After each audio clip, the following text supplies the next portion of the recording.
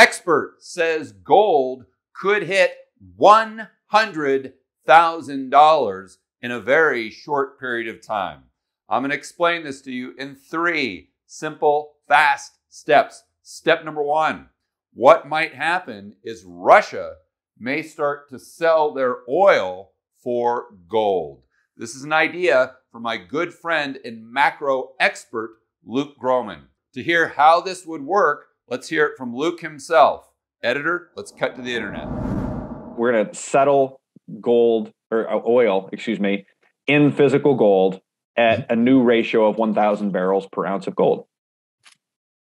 And everyone is going to go, oh my God, this is a great arbitrage, right? I'm going to go buy a thousand ounces of COMEX gold or, and, or, or GLD, and then I'm going to convert it to physical. Mm-hmm. And then I'm going to take the physical over to Russia and I'm going to get a thousand barrels of oil. And then I'm going to sell the oil and, and I'm going to get rich. And the market probably is going to shut down. It's going to crash instantly. The, the, the paper gold markets will just go boop, cash settle everybody, game over. Right. And then you're going to, you know, the oil, the real value is going to reprice gold. Mm-hmm. Again, I'm not saying that will happen. I think that's a long shot. If I was Putin and if I was pushed that far, that's what I would do. Mm-hmm. Because again, he already has the gold. Great. He's going to write up the value. He, he people keep saying he's going to sell his gold. He might sell some gold. I don't know. But I don't think he will. Mm-hmm. Why sell your gold when you have the oil? You can use the oil to revalue the gold to give you all the dollars you need. So, what would happen is Russia would say, We are going to sell our oil for gold, but here's the price. We're going to sell 1,000 barrels per ounce. Right about now, I'm sure you're saying to yourself, George, that's crazy. What are they talking about? Wait a minute. Let me do some math here. Oil is about $100 a barrel, and gold is about $2,000 an ounce. So they'd be selling their oil for about $2 a barrel. That doesn't make any sense at all. Who on earth would do that? Let's just think this through for a moment. So, if you're a speculator in the marketplace, in the oil market, and you hear that Russia is going to sell 1,000 barrels of oil for one ounce of gold, what would you do? You'd go out and immediately buy as much gold as you could. You'd want to get that one ounce of gold as quickly as you could You'd want to sell it to Russia. You'd want to get the thousand barrels of oil, sell it into the market, and collect your $100,000. There's a huge arbitrage play here. More on that in just a moment. So, what would this do to demand for gold? It would go absolutely off the charts. It might even break the market momentarily and the price of gold would most likely rise until it got to an equilibrium point. Let's go over it in this visual, and I think you'll understand it even better. So we've got Russia right here in the middle, obviously. You can tell by my wonderful drawing of Russia. And then we have the speculators involved. So over here, we've got the American speculator, Speculator Sam. And he has got dollar signs in his eyes because he sees the best arbitrage opportunity of his entire life. But it's all the global speculators, which would include speculator Sanchez, right here, speculator Saeed in the Middle East. And then in Asia, we've got speculator Singh as well. Now, I'm going to focus on speculator Sanchez and speculator Saeed. Because if you understand what Sanchez is doing, Sam and Singh will probably do something very similar. And if we understand what Saeed is doing, we can really get our heads around how the oil producers themselves may take advantage of this incredible arbitrage opportunity. So, to start, Sanchez would take his dollars, go into the gold market, he would buy gold. He would take the gold, he would give it to Russia. Russia would give him the thousand barrels of oil. He would take the thousand barrels of oil, sell it into the oil market, and collect far more dollars than he used to buy the gold in the first place. This is what drives demand sky high until we get to a point where gold could hit $100,000. It's that equilibrium point. Just in case you're not following the math, how it would work is we've got a thousand barrels of oil right now, about $100 a barrel. That's $100,000. So if gold, let's say, was $80,000 an ounce, then you could still buy the 1,000 barrels of oil for $80,000 or $80 a barrel. That's still way under market price. So the arbitrage opportunity would still be there, which would create more demand for gold until the price of gold got to a point where buying it to sell to Russia for oil wouldn't yield a profit. But it's not just the speculators who would want to get in on the game. Let's think about the oil producers themselves. So now we move over to speculator Saeed. He is producing all of this oil, but let's say that his cost to produce the oil is actually $10 a barrel.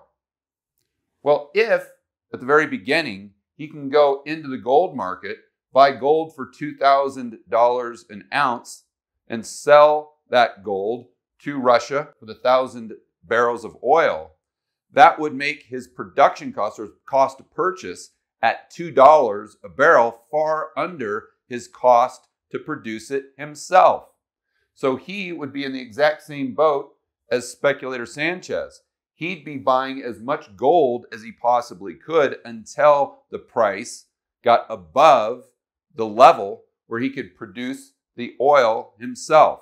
So, said another way, if he can produce for $10 a barrel, the price of gold would have to get above $10,000 an ounce before it would no longer make sense for him to buy it at a cheaper price than he could produce directly from Russia.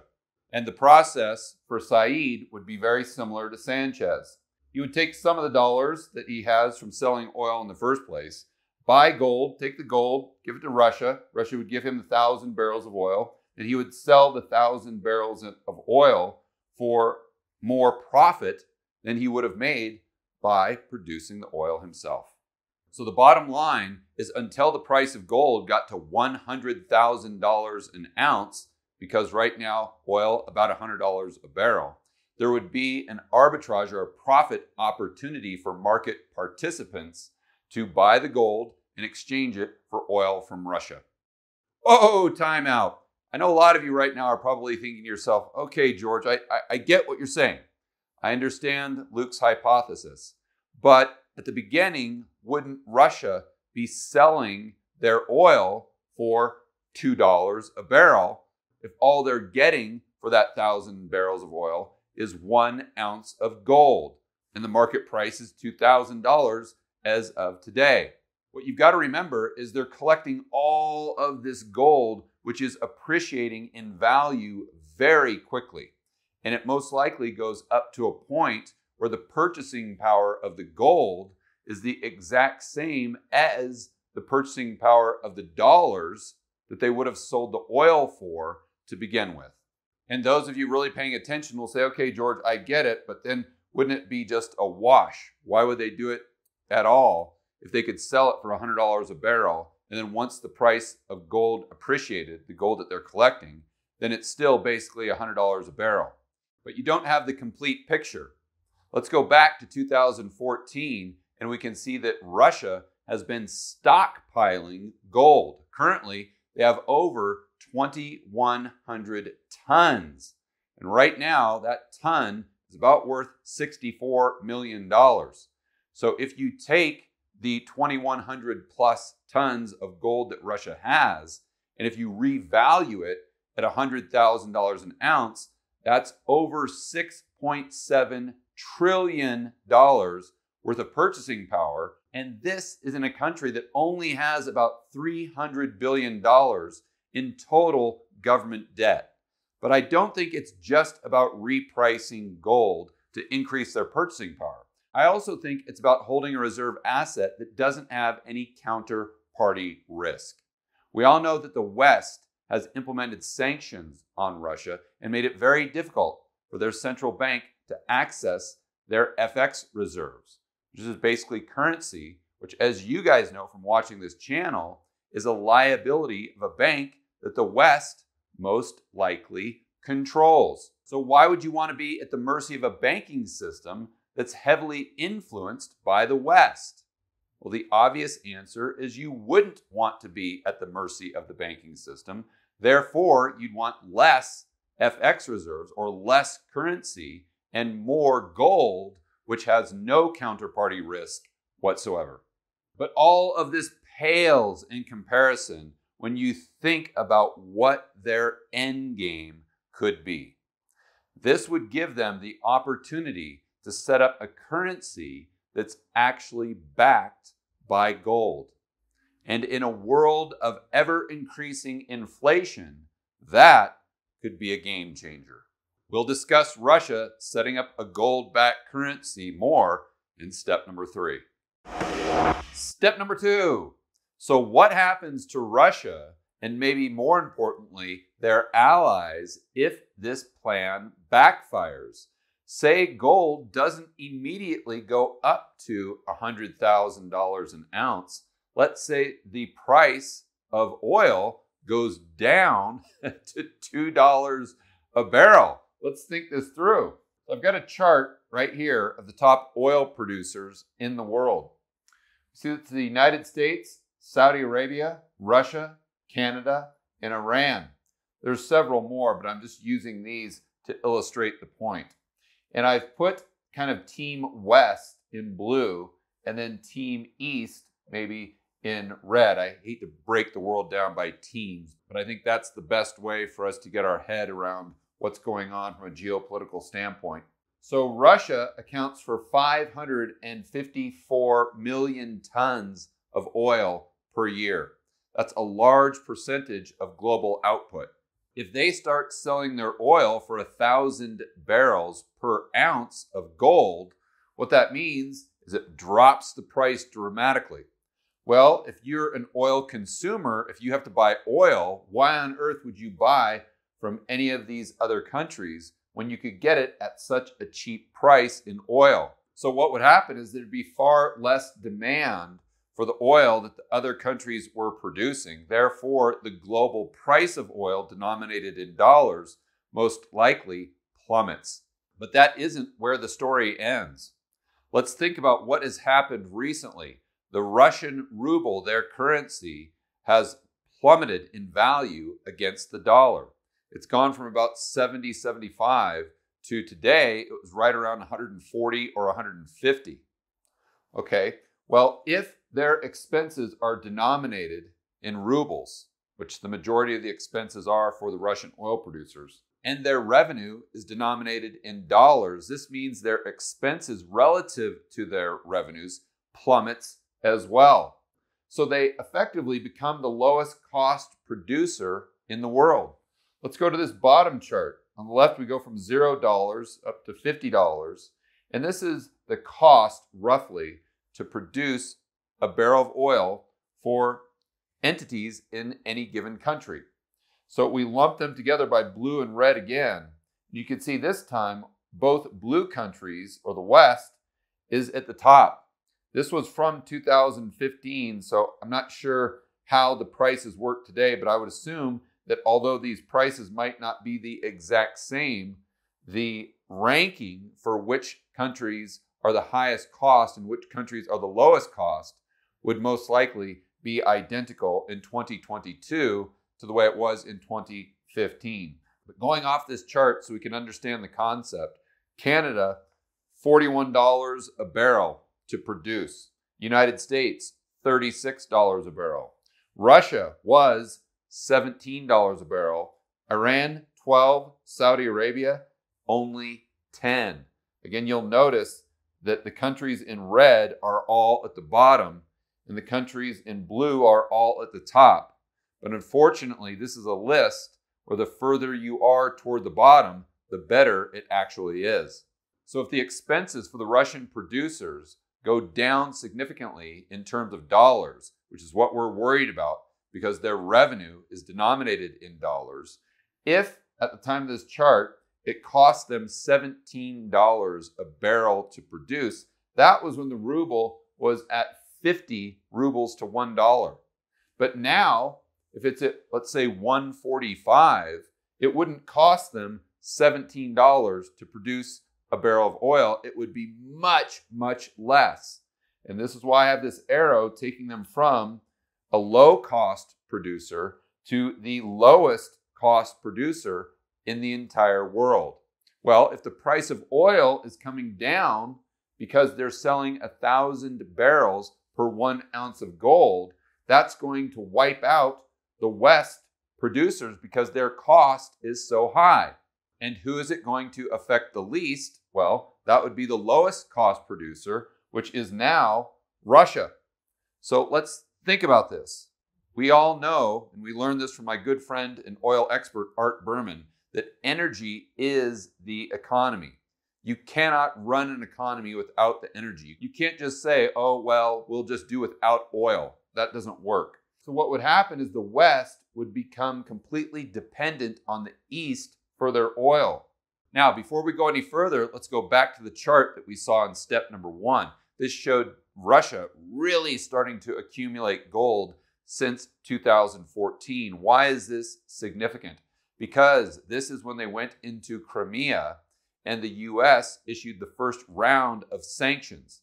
So, this is really a wake up call to Russia saying, okay, we need something outside of the system. We need to be less dependent on the current dollar system. Therefore, we're going to start accumulating gold. Maybe this was their plan all along. Who knows? But let's also remember in 2020, the price of oil went down way below $30 a barrel. In fact, in the futures market, it actually went negative, like $38 a barrel for a period of time.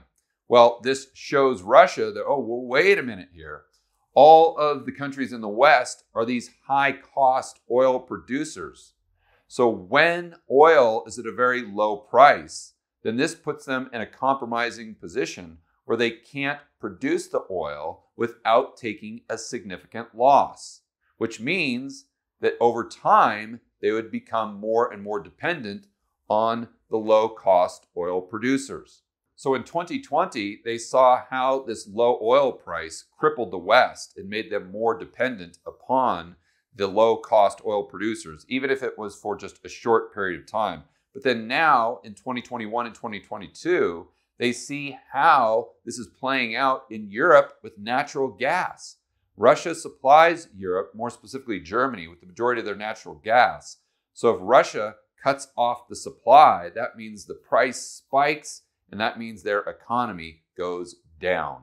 So I think in 2014, they really recognized why it's so important to have gold. And then in 2020, 2021, 22, they've recognized how much leverage having the energy actually gives them. And let's take it another step. If the West is dependent on countries like Russia for their oil in the future because the price comes down so much, and if Russia or maybe even these other countries start demanding gold for their oil, then we see all the gold from the West go down to the East. So whether the gold price goes up to $100,000 an ounce or the oil price crashes because of Russia demanding gold for their oil, it still puts Russia in a position where they are getting all of the gold. And this ties right into the idea that I think has captured a lot of your imaginations on social media, on YouTube. What if Russia creates a gold backed currency. Step number three a gold backed currency and East versus West. I'm not going to go over how a gold backed currency would work. Most of you understand that well. And if you don't, you can find several YouTube videos on the subject. But I want to go through kind of a thought experiment. How would this work? How would it play out what would be the ramifications?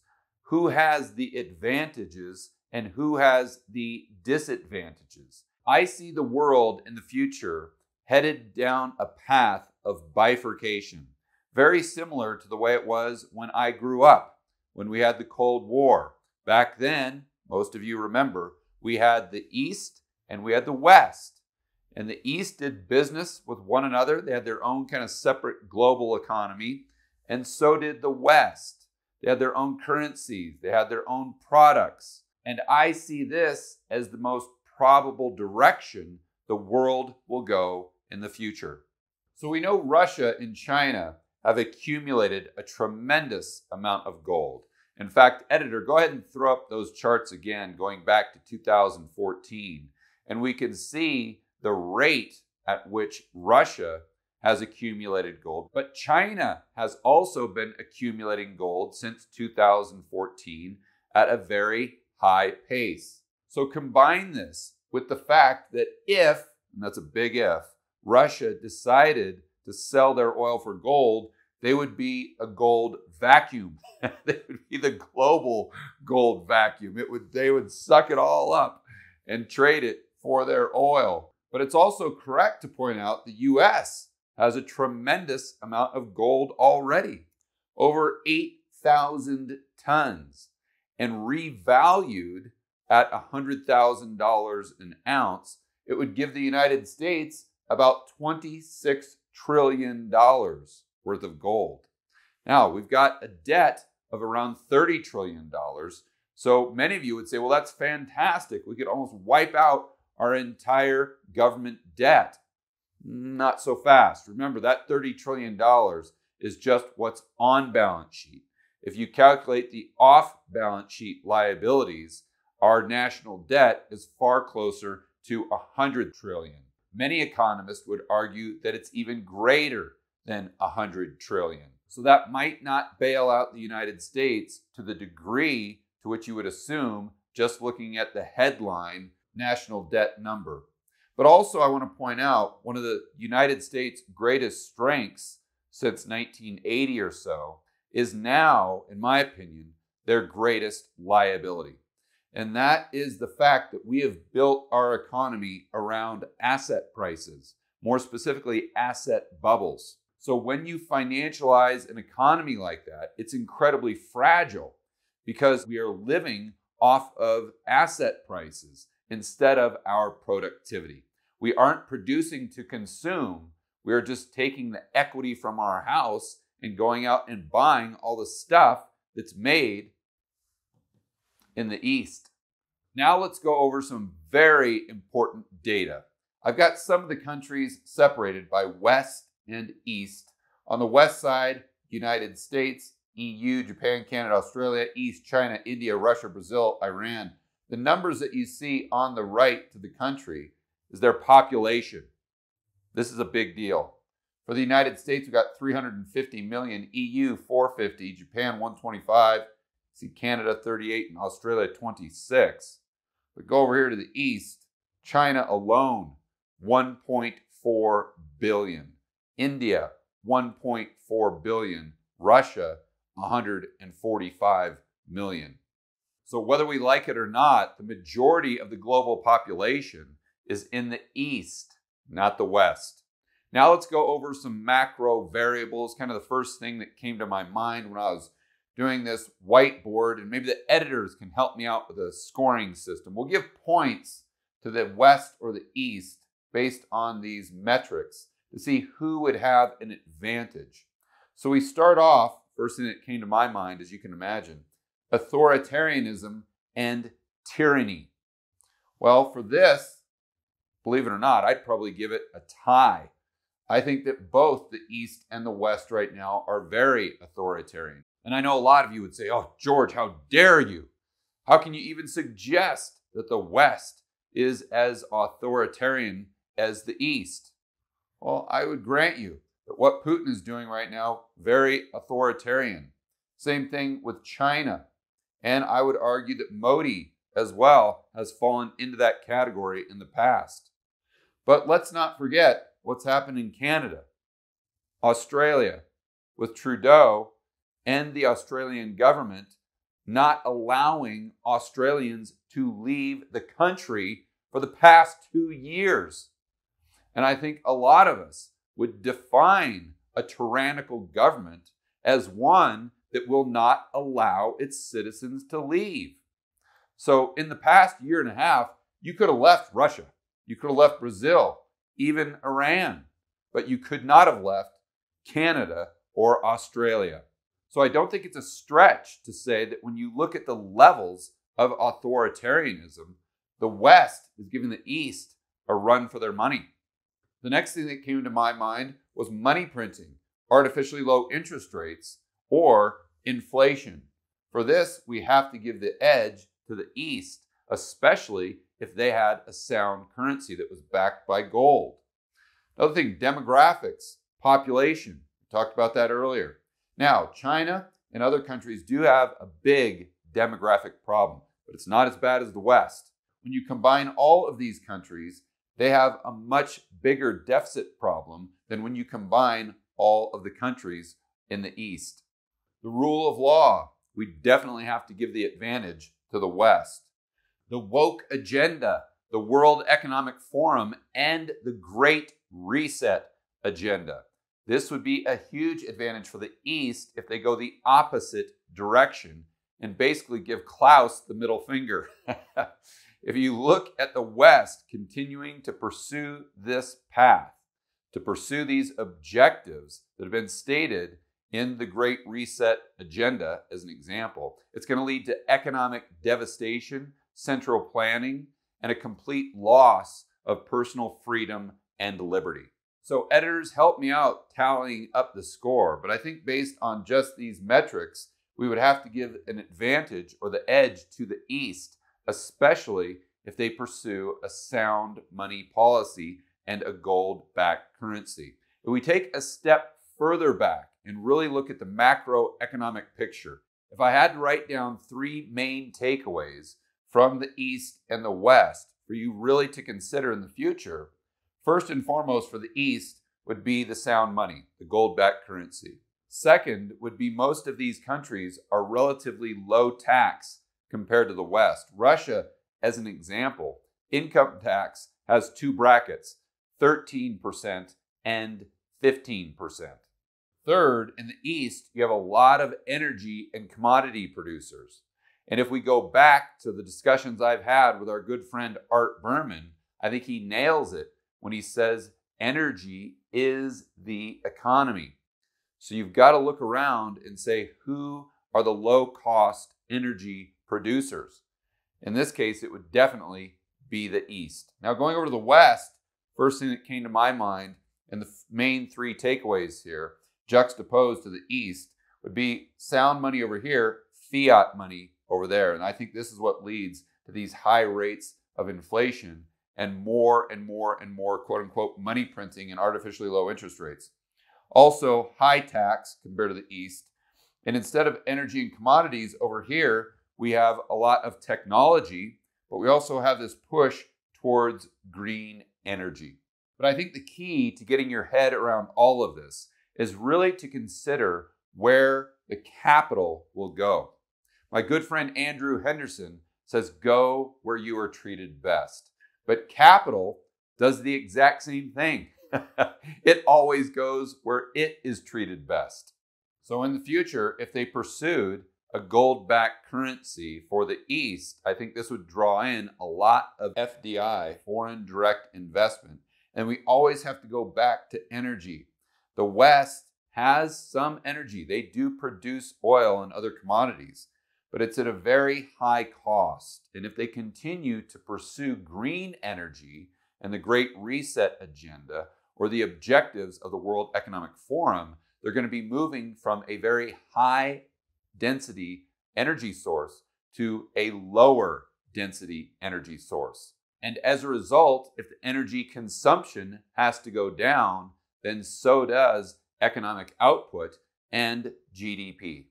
So if we have capital flowing to the east from the west, how would that impact the west? Because most of you watching this video probably live in the United States and you're saying, okay, George, I get it, but how does this apply to me and my family? Well, we have to look at what's happened recently to the ruble versus the dollar. Editor, go ahead and throw up a chart. We discussed this back in step number one but the ruble has lost about 50% of its purchasing power relative to the dollar. It's gone from about 70 to say 140. So why has this happened? Because people have sold their rubles and purchased dollars. So you increase the supply of rubles, you increase the demand for dollars. This is a result of capital flight. And in the future, we may see this reverse. So if we do see it reverse, where everyone is instead of selling their rubles and buying dollars, they're selling their dollars and buying the new gold backed currency, you would have the dollar plummet in value relative to this gold backed currency. And if we do have to actually import things from the East, which would further exacerbate the extremely high levels of inflation that we have seen in the West over the past couple years. And when you get extremely high inflation, or more specifically, when people can't afford to put food on the table, like wheat and grains, when people can't afford to put gas in their car. Does this sound familiar? All of these prices have skyrocketed lately in the West.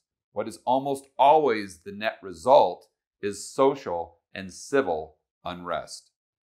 For more content that'll help you build wealth and thrive in a world of out of control central banks and big governments, check out this playlist.